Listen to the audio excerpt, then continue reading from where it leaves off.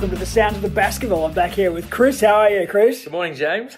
Good to see you, Chris. So this morning, um, you introduced me to some work from the great Arj Barker, who had said that podcasts are very informative and uh, in the context of uh, quite a good piece on gluten free. So um, if you do uh, want to have a little bit of a laugh, have a listen to Arj Barker on um, being gluten free, which uh, I have some sympathy for. So um, we've been talking about things during the course of the year. I came in with some, funnily enough, gluten free uh, donuts this morning, and uh, we laughed about the fact that one of the case studies we've talked about is bread donuts and wholemeal donuts. well, funnily enough, our good friends friends at Dodo have done quite well for us this morning, so I recommend them as well. So, Chris, we've talked a little bit before about the the Lemony Snickets, or what it was. We can probably go back to that one again yeah. briefly, but what I'm talking about, but a sequence of unfortunate events.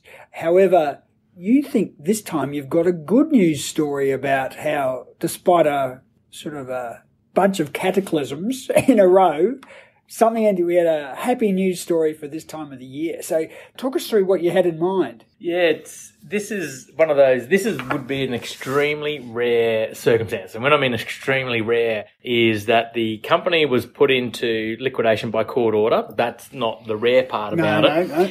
But by application of the liquidator after that appointment time, the liquidator applied to the court to actually stop the winding up and hand the company back to the director. That's the extremely rare element of it. And the reason, uh, which is obviously how the story ends, but, um, which is a bit strange. Why don't we, why are we starting with the ending of the story yeah, at wow. the beginning? But it's like one of those really interesting films where you see the end at the beginning and you go, hang on, how the hell did this possibly happen? Maybe this, this never happens. This yeah. will be a Quentin Tarantino yeah, podcast. We're going to start with the end and then we're going to work through the, the beginning. Yeah, awesome. Well, perhaps the moral of the story will play itself out as you talk us through the different sequences. There seems to be a few morals to this story, but anyway, let's let's weave us through the story. So we've got, a, story. we've got yep. this uh, an amazing bluebird, incredible outcome where director walks off into the night, liquidator goes home. Most people are mostly happy. Is that right? I mean, the liquidator still got the business is still got still going. The director's still got his company. There was a there was a price to that the director had to pay right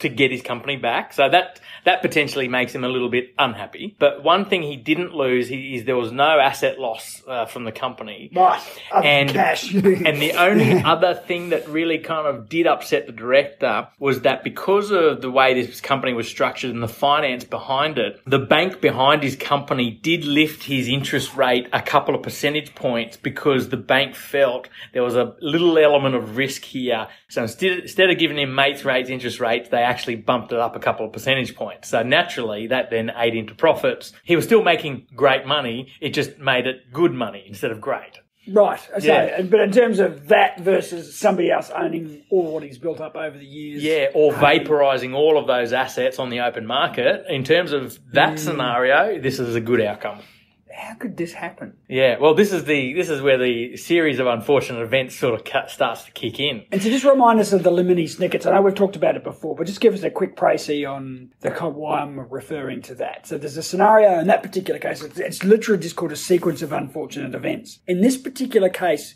unlike the Lemony Snicket story, there's no kind of protagonist potentially causing the problem in the background this time, is there? There's just literally a sequence of. It's a sequence of unfortunate events. Yeah, it's not like uh, so. So I think we better start the story yeah. Quentin Tarantino style. So yeah. Can, yeah. So the story begins pre GFC. So we're going yeah. back to you know pre two thousand eight, and our fellow happens to be in uh, lots of. This company happened to own a lot of commercial properties, so he was a landlord, and and prior to GFC, he was custom building some commercial tenancies for some fairly blue chip customers, right? And I guess we, we ironically say blue chip is one of those solid blue chips that just mm. doesn't go away. They're like a bank. They're as safe as houses, you know, that kind of mm. stuff. Ironically, this involves a company called OneSteel.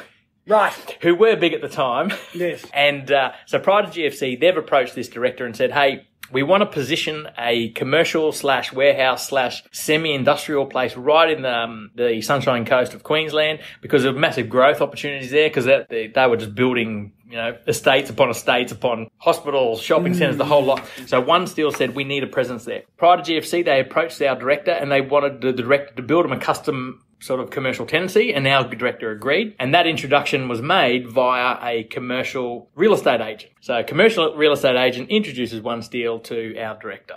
Then GFC hits. And all of a sudden, all investment and all sort of, hey, all expenditure, anything outside the ordinary was pretty much shut down almost across the board. So Yeah. OneSteel says to the commercial real estate agent and to our director, sorry guys, GFC, we don't know how we're going to survive, so we're going to down tools on this deal. And the deal ends. So our director's lost one deal as a client. Uh, the real estate agent has, has lost out on commissions because, you know, unfortunately the deal didn't go ahead. Three years later, the economy's changing for the better. OneSteel now wants to reignite that same deal. So One Steel goes direct to our director and says, hey, remember that deal we talked about three years ago? We'd like to do it right now. And of course, the deal gets done. The, the building gets built, leases get signed, and everyone's happy little camper. Except three years later, Yeah. the commercial agent that originally introduced OneSteel to our director fires in an invoice for 75,000 odd dollars to the director saying, Hey, remember how we introduced you to that guy three years ago? Well, we understand you've now done a deal with that same client. So guess what? You now owe us $75,000. So I think we should use the introductory music for this, and I'll see if we can to "What About Me." it isn't fair. It isn't fair. Had enough. and I want my share. Okay, yeah. Because I mean, it's whilst it's three years done, you can see both sides of the coin. But anyway, so anyway, what about me? Would I be right in thinking that if someone feels a bit grieved and they start using legal process, got to be a little bit careful as a director in that situation. If if you Yeah, yeah. There's there's there's lots of tools that are available to a hmm. creditor to get their debts paid, right? Yeah. And and some tools require a court process. You know, claim statement of claim. Let's bash it out in court. Let's get a judgment debt. Once we've got the hmm. judgment debt, then we can uh, do all sorts of wonderful things, hmm. right? But this guy was fairly aggressive. This commercial real estate agent pretty much went straight for a statutory demand under the Corporations Act. So once a statutory demand is served on the company, and in this case, uh, you only have to get it to the registered office, you then have 21 days in order to pay that demand before the company will then be deemed insolvent to then trigger the application to wind up the company. So that's real aggressive legal steps that are in place. But of course, the $75,000 debt once you then submit your statutory demand, it then will add legal fees and interest to that demand. And of course, now all of a sudden, the 75 grand has now increased. so So it's sort of like a rolling stone, it kind of. it gathers moss. Yeah, Yes. or, or something like that, you know what I mean? Or a snowball or an avalanche or something. So if there's an avalanche with one snowball coming down the hill, to use a better analogy, if you're getting a creditor statutory demand, it's already starting to gather a bit of momentum. You don't want to be the skier skiing through the valley with this avalanche. Snowball is starting to come down, getting bigger and bigger. You've probably seen a sign saying warning avalanche. So what you wouldn't do is just ignore it or ask somebody to do something about it. A stat- yeah, statutory demands are they're, they're effectively a tool to get the company to be deemed insolvent by the non-payment of that specific debt. So, in other words, I, I'm going to give you a statutory demand under the Corps Act. You've got 21 days. If you don't pay it, it will deem the company insolvent. And once you've got that deeming provision there, well, then the next step is you go to the court and you say, Your Honour, it's pretty clear this company's insolvent. Well, Look at the demand look I the gave them, and, it got ignored. Nothing. Therefore, the court must assume that the company's insolvent. In the absence of any other information. That's right. And it is a rebuttable presumption, so you can defend it by providing a solvency report that says, hey, actually, Your Honour, uh, I've missed this document, but hey, look at our look at the you, health of but our. you have to actually prove innocence in that correct, situation. correct. Yeah, You're guilty until proven innocent. Yeah, right. okay. Correct. So, lesson one from maybe today's, today's podcast, other than don't go through avalanches, uh, that you can get good gluten free stuff, is probably the main lesson so far is do not ignore a creditor's statutory command. That's probably uh, a good le- one of the good lessons people will learn from this. And then if you said, okay, I'm not ignoring it, but oh my uh, my you know oh, a mate can do something like. Is, is there sort of a, the right place to go to get advice if you get one of those things? The first person you should be calling once you get a statutory demand has to be your lawyer. Like you just uh, you just don't call anybody else. Don't even call your wife. Don't call your kids. Yeah, yeah. You go straight to your lawyer. And then I've hassled you before because you talked about having a good lawyer and a good accountant on speed dial if you're a savvy Mm-hmm. business. A lot of business people, such as myself, don't have you know, they might talk to the accountant once a year when they've got to pay their annual returns and that sort of Yeah. stuff. And, and, and they may not even trust their accountant to provide them business savvy advice. So I may not have a lawyer on tap. What would I not do potentially in that situation is if I get a creditor statutory demand, do I, I, you wouldn't just send it to anybody. No, I mean, look, if your accountant is your, is a trusted advisor, you know, someone that you sort of liaise with throughout the year, And, and they'll know somebody. They'll know somebody, that's yeah. right. Worst case scenario, geez, go to the Queensland fine. Law Society. But I mean, you could phone you. You could phone you guys. I mean, you could phone Insolve or. Solvers.com. Yeah, that's kind of what we do. Definitely could phone it, but you got to find someone reputable. So flicking it off to a relative to try and sort out for you. Yes. So uh, this is the next series of the Yeah, unfortunate yeah, events. yeah, yeah. So our fellow, our director, has just received uh, an invoice that he disputes. He says, "No, I'm not paying it because hey, we lost that deal three years ago. They called me direct. I didn't need you to set up this second deal. So you know, I'm disputing the debt, right? Morally uh, and ethically, I don't want to pay it, right? But the problem is." And this is probably in the the devil's in the detail. Real estate agents, when they when you sign them up to be your agent, there is a period where it is an exclusive agency, usually about ninety days, and then if you don't terminate their agreement, it flicks over to an open agency with no end date on it. So if you think about it, our commercial agent was once upon a time the exclusive agent to find a tenant. It's then gone beyond the 90 days. It's then technically become an open agency and it hasn't ended. In other words, the real estate agent is still the agent appointed to find a tenant. Looking back in hindsight, if our director had have terminated the agency agreement when the GFC came in, He could have sent an email. you would not have this problem. He could have literally sent an email. You could have sent an email in writing saying I'm terminating formally commercial agency agreement. So then he said, "Okay, I know a lawyer. Yep. He can sort it out." Yep. The lawyer happened to be the director's brother-in-law. Right. The brother-in-law happened to practice in like suburbia somewhere. Usually suburban lawyers, and I'm not uh, being too generous here, but they specialise in family law, wills and estates, and maybe crash and bash Yeah. type law. You know, most of your litigators and your, your fighters and all are generally based in the city. Um, so he's given it to his brother-in-law who may be a wills and estates or a family law guy. And of course, he doesn't understand the importance of it.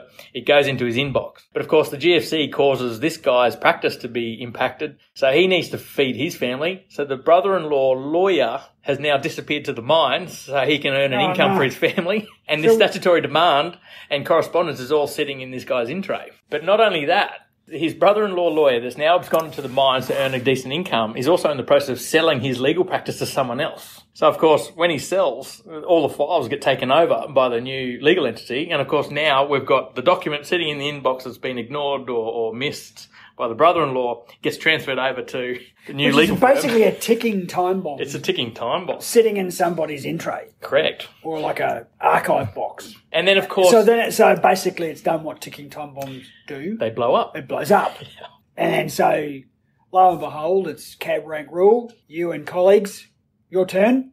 Quarter points, you guys. Correct. So the commercial agent who lodged the uh, invoice, who then lodged the statutory demand that obviously got ignored, then goes and applies to wind up the company because it's now deemed insolvent. And then one of my long-time mentors and predecessors got the appointment and I was working for her at the time. So we get this appointment. It's usually on a Friday afternoon. The court appointed uh, liquidations come in. I think I instructed uh, one of our sort of admin guys to go and give us just just randomly. I said, "Look, I think you should do a property search just to tick that box in our investigations." Yes, we looked at property and there's nothing there. Turns out though, on the Monday we get the property search back and this thing's got 25 properties on it. Right. And all of a sudden, we've gone, oh my god, this company may have some substance to it. We then start doing searches in the in each of these sort of 25 properties, and we're starting to realise the majority of them are commercial tenancies where this guy is effectively the landlord. And then we start getting in the bank statements. We start to look through, going, wow, there's actually cash flow starting to come in from all the tenants. And he's able to meet his banking commitments on time. And there's actually a, sur- a good surplus, a nice, healthy surplus from him being a landlord. So we go and fly up and meet the director who happened to be um, in central Queensland there, living a good life. Beautiful tan, Hawaiian shirt, thongs, you know, shorts Oh, like this guy. Yeah, yeah. He's, if you look at him in the street, you just pass him and you go, oh yeah, that's just, uh, you know, average average Joe Bill, you Yeah, know. loving the, living the dream. Yeah, happy day. average Joe. Yeah. And and we we then work out. We said this guy's sitting on thirty million dollars worth of real estate, but it's not just thirty million dollars worth of real estate. It's thirty million dollars of cash generating real, real estate. estate. Like that's a difference. Yeah, it's not like a patch of land that's got trees and No. car bodies on it. No, this, this, yeah. And so we're starting to work out one, this company is now cash flow positive. And number two, when you look at the asset value and you minus the secured debt to it, he's, he's actually, I, I think he's, I think he's worth about, you know, 10 plus million bucks net assets. So we're the liquidators of this company that has 25 properties generating, you know, X million in revenue, uh, surplus cash year on year with net assets of 10 million bucks. On a creditor's statutory demand of 75 grand. Correct, correct. And this is where, uh, working with the liquidator here, we made the decision we have to terminate this winding up because this company is actually solvent. And we wrote our own uh, solvency report to the court to say, look, Your Honour, look at the cash flow it generates, look at the net asset position. Our view is, and this is us as liquidators, our view is this company is solvent. So you have to actually write in court to apply to get yourself, single inverted commas, dismissed. Yeah, terminate the Terminate winding up. the winding up. Because this guy's not skint, he's just got to get his act together. Yeah, the the reason the company went into insolvency is the series of unfortunate events where he Wow. handed the thing to his brother-in-law who didn't do the right thing by him, and it's been missed, it's been lost, all the time periods expired, and the creditor or the commercial agent had no other option. He had to go to court to wind them up. So here's a lesson about it. There's a few. So we've listened about do not ignore ticking time bombs. Seek advice from the right places. Some good news around the fact that the liquidator can be your friend if you're completely upfront, honest, talk about the process. It's not because I mean nothing gives you greater joy than to be able to walk away from a place that's making money and employing people. Actually, I'm glad you said that. Uh, One thing about this director, he was brutally honest. He was, he was almost, if anything, he was potentially he was oversharing. Yeah, right. Like, but the point being is, we now ended up on the same page. He didn't like the situation he's in, and he wanted, he, he's happy to pay all his bills and get out of it. We realised this winding up shouldn't continue on because. If we start, imagine if we started selling off all those assets for no real benefit, like who, who benefits there? Maybe our fees, etc. But it doesn't help him. And the bank was actually comfortable with this guy because the bank's sitting there going, well, our loan to value ratio is good. The cash flow is still good. He's meeting all his mortgage commitments on time. We're not going to make uh, any sudden moves and put receivers in. There's no point to do that. So pretty happy ending. I mean, a little bit of skin off the director's nose, a bit of a kick up the pants about hey, you can't let these things ride. Obviously, you you maybe some of the covenants and stuff like that over that would have been reviewed if you had to kind of fork out some Yeah. cash. Obviously, the liquidator still needs to be paid, so there's Yeah. a lot of money, legal fees. He's obviously the whole opportunity to argue or the toss on the real estate. That's kind of done and dusted. Look, suck it up away you go, pay and pay the costs, I imagine, for the. Yeah. So, so the court order that the court made was along these lines. One, that the termination, uh, sorry, to terminate the winding up. Two, that the director had to pay the fees of the liquidator. And let's just say, uh, in loose terms, it was about uh, 300 uh, odd thousand, including our lawyer's fees, because we had to engage lawyers to, course, to run this thing. So let's just call that 300 grand. He then had to pay the original $75,000 invoice plus interest, plus that guy's legal costs plus mm. the cost of winding it up originally. So let's just say that turned out to be over about 100, 120. So you got 300 to the liquidator, you got 120 to the original creditor who sued him for 75,000 and then plus the cost of the day incidental to terminating the winding up. So when you added it all up, we, we, it's about a 400 to $500,000 bill to get out of paying a $75,000 invoice. And there's a lesson there about sort of dealing with relatives. I mean, clearly, we've often talked about things kind of evolve. So here's a bloke who's been a pretty savvy investor, but he's probably not increased the sophistication of his kind of structure. No, it definitely what- wasn't sophisticated. or, or No. the or the so and we've talked about before where you know, you know famous situations where like a large transactions and you've had to write out a check to the individual who owns these assets because they've got no sophistication to their structure. We've also talked in previous podcasts about the, the difference, and we'll talk about that again. I think uh, when we get a tax accountant in, we should probably talk about the, the difference between tax structure and liability Liability. liability, structure because the two of them in some ways can be uh, sort of almost diametrically opposed. So, but in this case, we don't have any particular structure. It's just a bloke who's flicked off a note to a relative I, th- I, think the lesson from that, if you don't understand uh, that uh, lawyers have particular specialties, right, and, and good lawyers pick a specialty or specialties, right, and they just be very, very good at those specialties. Not every lawyer is created the same. So, in other words, just because your brother-in-law happens to have a law degree or be admitted as a lawyer doesn't mean they're any skilled in insolvency and dispute resolution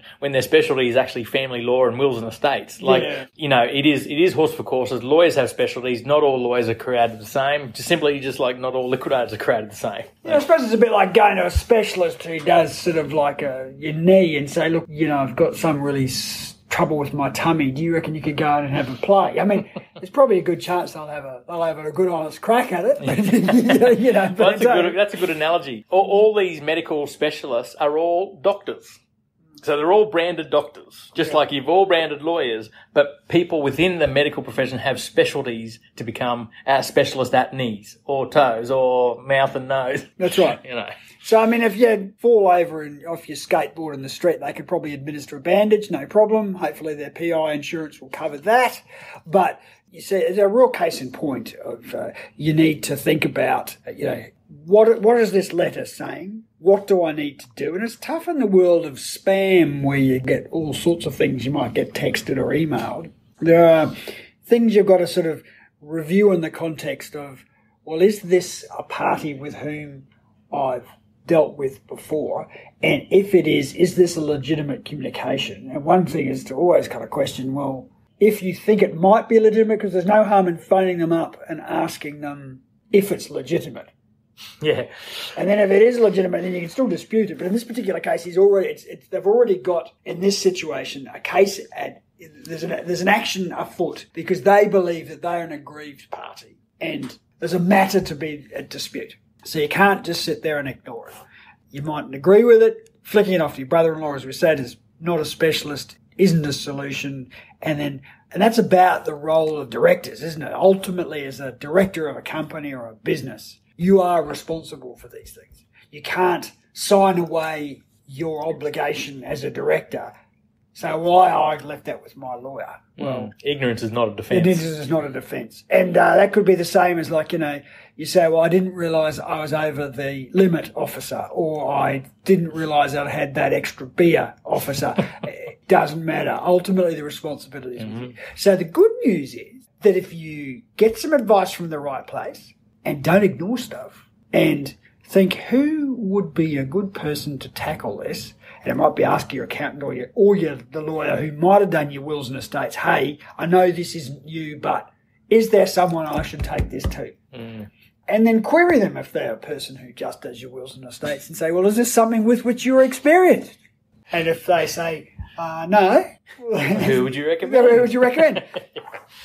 and I think that's the thing about, and I mean, obviously, that's the role that someone like Chris. There's no harm. I mean, nothing would make you happier than people picking up the phone and asking you about, "Hey, Chris, what do I do here? Who do I talk to?" It, uh, I, I, say to people all the time, look, come to me with all your problems, uh, except medical ones, of course. Come mm. to me mm. with all your business problems because I may not be the solution, but I genuinely feel I know the person that is. That's right.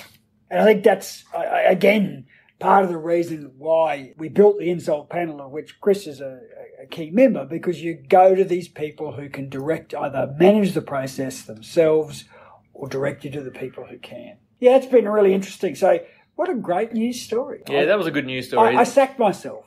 So yeah. basically, yeah. We sacked ourselves by court order. So we were put in by court order, sacked ourselves by court order because we believed we didn't need to be there. But but a high price had to be paid to get out. Yeah, that's right. so beware the director. Anyway, hey, thanks, Chris. That's been fun. Let's keep talking. thanks, Jay. Thanks. A reminder that these podcasts are general in nature and do not constitute advice, and they don't take into account your personal circumstances. So if you think, though, that some of the issues raised might apply to you, you should seek qualified financial, legal, or counselling advice.